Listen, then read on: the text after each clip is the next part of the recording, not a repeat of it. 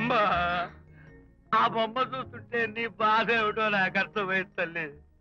నీకు సీమంతం జరిపించలేదనేగా నీకు సీమంతం జరిపించడానికి పైసా కూడా లేని దరిద్రుడి క్షమిస్తమ్మా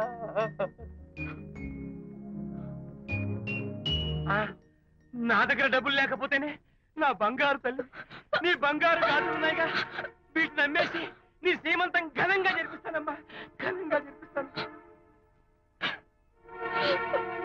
అమ్మా సీమంతానికి వచ్చిన వాళ్ళు భర్తే నీకు సీమంతం ఏమిటని కొంతమంది?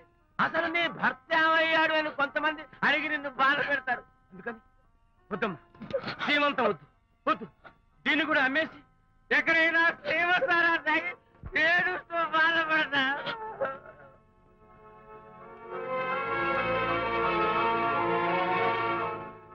అనిత అంటే మీరే కదా? మీరు ఆర్టిస్ట్ కదా? అవును. మీరెవరు? మేము కస్తూరిబా మహిళా మండలి నుంచి వచ్చాం. తోడు లేని ఆడవాళ్ళకి పండగలకి పబ్బాలకి నోములకి సీమంతాలకి ఆత్మ బంధువులమై అన్ని మేమే దగ్గరుండి జరిపిస్తాం. మీకు సీమంతం జరిపించడానికి వచ్చాం. థ్యాంక్ యూ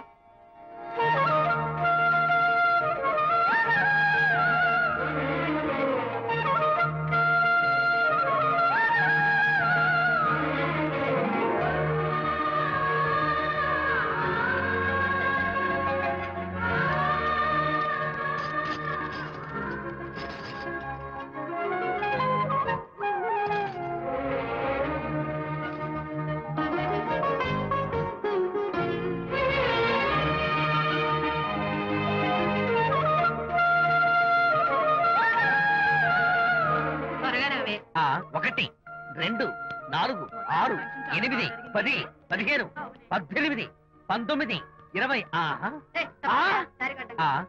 అనిత ఏమిటి డెకరేషన్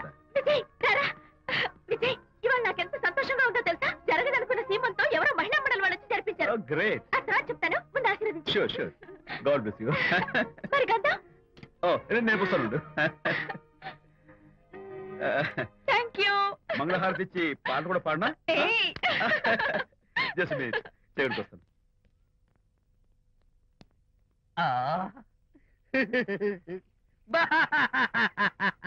అదేంటి? ఎందుకు ఏడుస్తున్నావు? ఇది ఏడుపు కాదు. సంతోష తరంగాలు.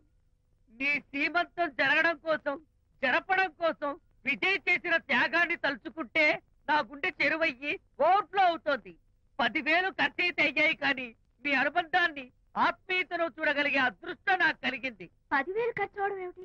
నీకెవరూ లేరని నీ సీమంతో చేయడం కోసం మహిళా మండలి వాళ్ళకి డబ్బులిచ్చి ఈ ఏర్పాట్లన్నీ చేశాడు విజయ్! ఊ! హరిశ్చంద్ర అనవసరంగా నోరు జారానే. ఈ విషయం విజయ్కి తెలిస్తే నన్ను కాటి కాపర్ని చేస్తాడే. అబ్బా!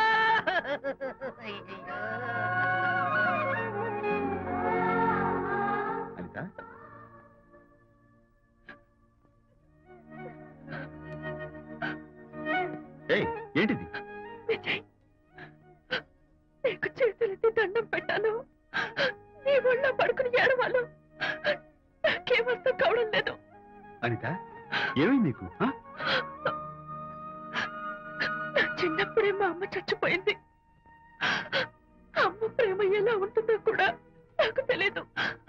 అమ్మ మనసుతో ఆలోచించి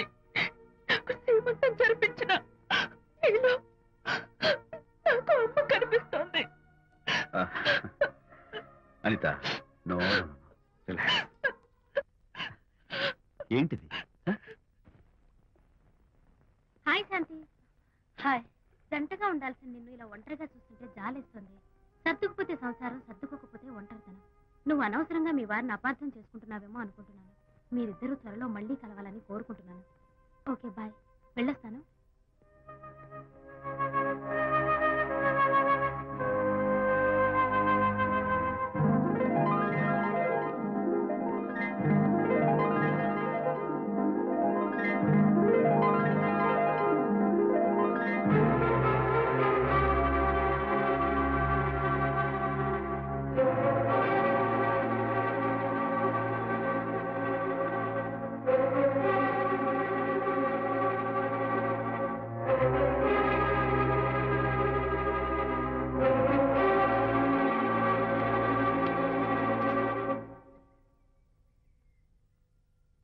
మరీ తెగించి బజార్లో తిరిగే వరకు వచ్చిందన్నమాట మీ వ్యవహారం. ఈ సమయంలో తనకి వాకింగ్ అవసరమని డాక్టర్ చెప్పారు. అందుకని అందుకని చేయి పట్టుకుని నడిపిస్తున్నారు. దానికి సిగ్గులేదు సరే. కనీసం మీకన్నా ఉండక్కర్లేదు. నిదానంగా మాట్లాడు. అనిత వింటే బాధపడుతుంది. ఓ కట్టుకున్న పెళ్ళలో కుమిలి చచ్చిన బాధ లేదు కానీ ఆవిడ మాత్రం బాధపడకూడదు. శాంతి ఆ విషయం తర్వాత మాట్లాడుకుందాం. ప్లీజ్. చేయిన తర్వాత? మీ సరసాలు సరదాలు అన్ని పూర్తయిన తర్వాత. శాంతి నువ్వు అనవసరంగా ఏంటమ్మా ఏంటి గొడవ? చూడండి ఈయన నా మొగుడు. ఈ చేతిలో రెండు కూల్ డ్రింక్స్ ఉన్నాయి. ఒకటి ఈయనకి ఇంకోటి ఎవరికి ఇవ్వాలి? మీకే ఇవ్వాలి. కానీ ఆ బుద్ధి ఆయనకి లేదు. ఆ రెండోది ఆ రెండో ఆవిడికి. శాంతి ఏంటి అలా నువ్వు నోరు మూసుకుంటావా లేదా? మీరెన్ని వేషాలు వేసినా నోరు ముసుకునే కూర్చున్నానండి. ఏమిటి శాంతి? Public nuisance. పబ్లిక్లో మీరు పచ్చిగా తిరిగితే తప్పలేదు కానీ పబ్లిక్గా నన్ను అడిగితే మాత్రం తప్ప మీ మగాళ్ళే అంత. పైగా మీ అక్రమ సుందరం శాంతి, ఇప్పుడే చెప్పను ముసుకోండి. శాంతి మాట్లాడుకో. దాని మీద అంత మోసంటే పైగా సమర్థించుకోవడం! చూడు బాబు పబ్లిక్లో భార్యాభర్తలు ఇలా పోట్లాడుకోవడం మంచిది కాదు. ఊరుకోయా ఇల్లు కానీ ఒకడు ఏడుస్తుంటే ఇంకేదో కానీ ఎవడో ఏడ్చాడంట. మరి చెప్పొచ్చు వెళ్ళి వెళ్ళి. వెళ్ళి వెళ్ళండి. ఎంత చూసారు డ్రామా. విజయ్ ఏంటా గొడవ? అది